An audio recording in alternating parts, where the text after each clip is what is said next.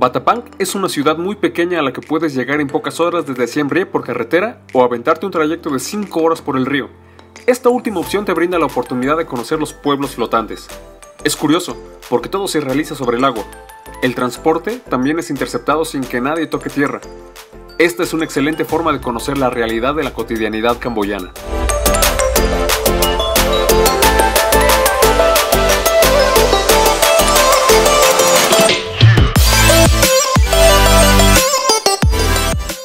Este lugar olvidado del turismo se encuentra entre Phnom Penh, que es la capital de Camboya, y los templos de Angkor. Si lo incluyes en tu itinerario, dedícale un solo día.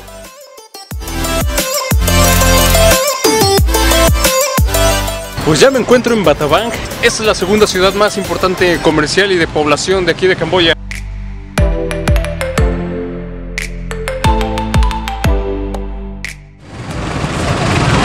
Pues esto parece como almeja.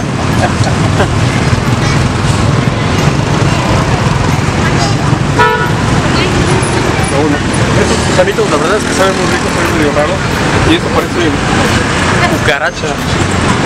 La verdad no sé si probarlo, pero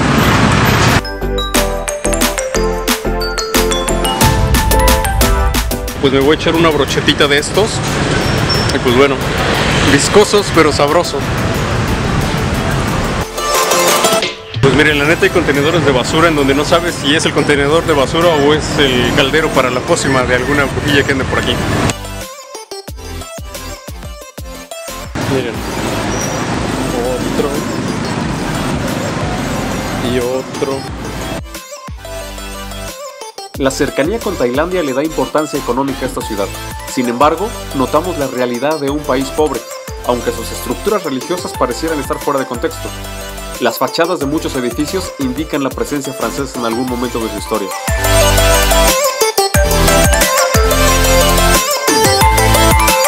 Ese es el hostelito donde me estoy quedando, estoy compartiendo habitación con otras 12 personas y pues bueno, no sé si en realidad está en el centro de Batabang porque la ciudad está un poco confusa. Bueno, las cabinas te dan hasta cierto punto un poco de privacidad, solamente tenemos un baño que compartimos todos, lo cual no es tan práctico. Eh, pero bueno, por el precio la verdad es que no me podía esperar nada más. El clima está bastante bien, bueno, en la ciudad está bastante caluroso, aquí en la habitación está bastante cómodo. Están un poco peligrosas, están un poco altas, si te caes y te das un buen trancazo que te duele. Solo voy a estar aquí una noche, este es el hostalito, no se los recomiendo. Pues estoy en una de las pagodas, pues eh, digamos que es la más grande de Batabang. Está un templo justo al lado y ya me explicaron la diferencia. El templo es para, la- para la- los que profesan la creencia hindú y la pagoda es para los que profesan el budismo. Entonces pues he ahí la diferencia entre una pagoda y un templo.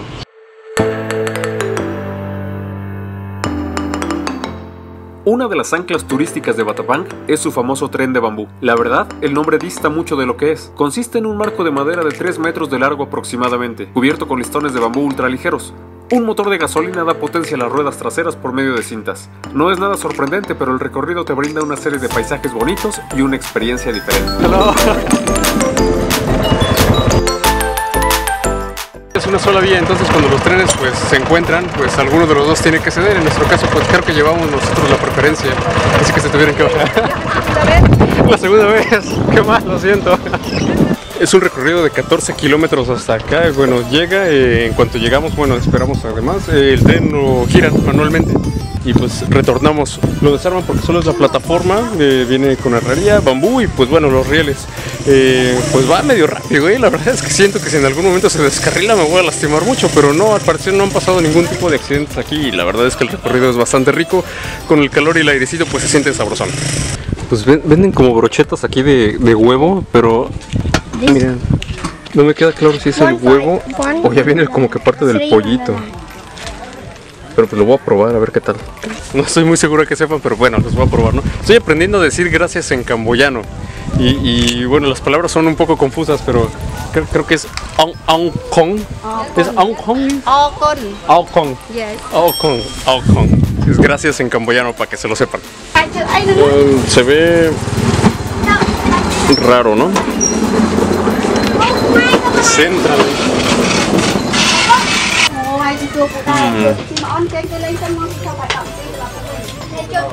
No me está gustando mucho.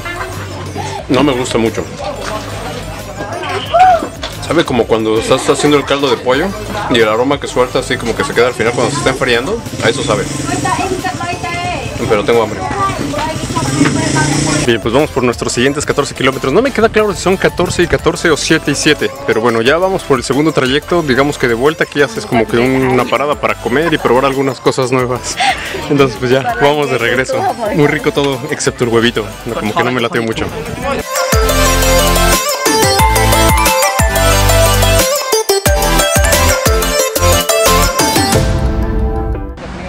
Esta es una comida típica camboyana que se llama kralán. Básicamente son palos de bambú rellenos con frijoles y arroz pegajoso a la parrilla en fuego abierto. Tiene un toque dulcezón. Yes, bamboo cake, yes, number one. Uh, good taste. Yummy, uh, yum yum. Mm, Se envuelve en el bambú. Ella lo está preparando. Mm, Y la verdad es que sabe rico. Sabe muy rico. Esta es una ciudad de contrastes. A pocas distancias puedes ver cosas bonitas, otras no tanto. Lugares llenos de caos y otros aislados, tranquilos, pero que además guardan secretos terribles. Tres años, ocho meses y 20 días bastaron al régimen de Pol Pot para aniquilar casi al 25% de la población camboyana. Aquí fue en su momento una cárcel donde los Gémeres Rojos concentraban a la población para asesinarla en uno de los genocidios asiáticos más terribles de la historia. Eh, bueno, eh, estas personas se, encargaban de matar a toda la familia, incluidos los bebés. Digo, matan a todos y no pueden dejar ni siquiera al bebé porque el bebé después se convierte en hombre y pues el hombre busca después venganza. Entonces la forma de acabar, digamos, de raíz con todo, pues era matar incluidos a todos, bebés incluyendo. Este es un monumento en recuerdo de aquellas víctimas. Básicamente es una narración gráfica de lo sucedido aquí, en donde los niños de 3 y 9 años perdían la vida de maneras indescriptibles. Cambiando radicalmente de tema, la preparación de los rollitos primavera es todo un arte. Todo comienza con el papel arroz, el cual se obtiene después de pelar y moler el arroz previamente secado al sol. Se pone a hervir y aquello que se va filtrando sirve para preparar una especie de crepa, la cual se pondrá a secar al sol dándonos así muchas hojas de papel arroz, que en Camboya se vende como en México se venden tortillas.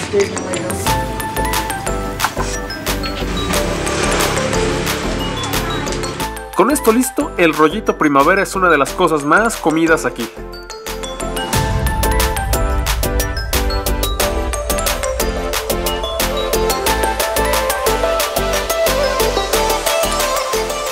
Y pues así son como lucen los verdaderos y frescos rollitos primavera.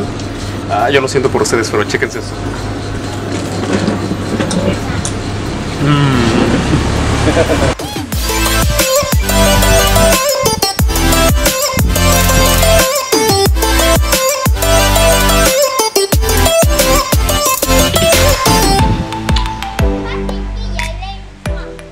Cuando busqué las primeras imágenes de Batabang, salió esta imagen. La verdad es que es una de las pocas cosas por las que venía a visitar este pueblo. Verlo en persona, la verdad es que es fantástico. El contexto no es muy bueno porque, pues, la verdad se ve bastante deterioro, pero eso lo ves prácticamente en toda la historia real de Camboya. Sin embargo, las estatuas, el color y el demás, eh, es una imagen fenomenal.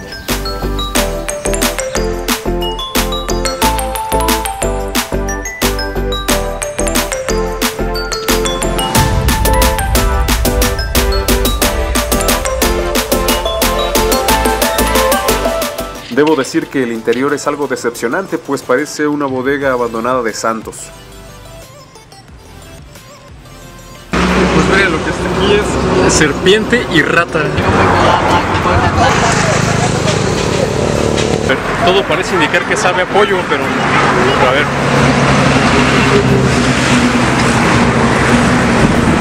Sabe a pollo. Like chicken. Y pues ahora le toca a la serpiente a ver. No, se ve rara, pero ver.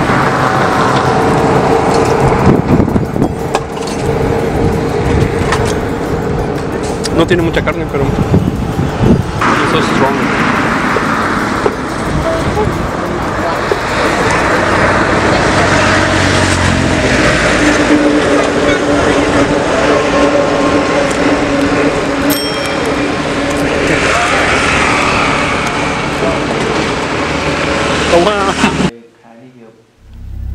Comienzo a adentrarme en uno de los lugares más escalofriantes de todo Batabang.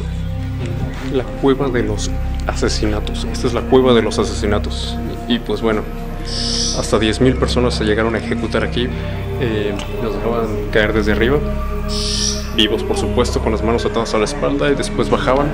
Y pues bueno, les enterraban lanzas en la cabeza, de alguna forma rematarlos y dejarlos, asegurarse de que estuvieran muertos. 10.000 personas es increíble. Y parte de los restos que estaban encontrados, pues bueno, están al fondo con bueno, las calaveras y los huesos de estas víctimas. You start, yes? Ya. Yes. But the whole tail. Resulta espeluznante imaginar que esto hace algunos años estaba lleno de cadáveres que los Khmeres rojos dejaban aquí, cadáveres de la población civil de Camboya. Las cuevas hoy día están abiertas al turismo, son majestuosas y son uno de los lugares más apartados y tranquilos de Batabang. Las imágenes de Vishnu para ellos lo convierten en un lugar santo. Para mí sus deidades le dan un toque aterrador al sitio.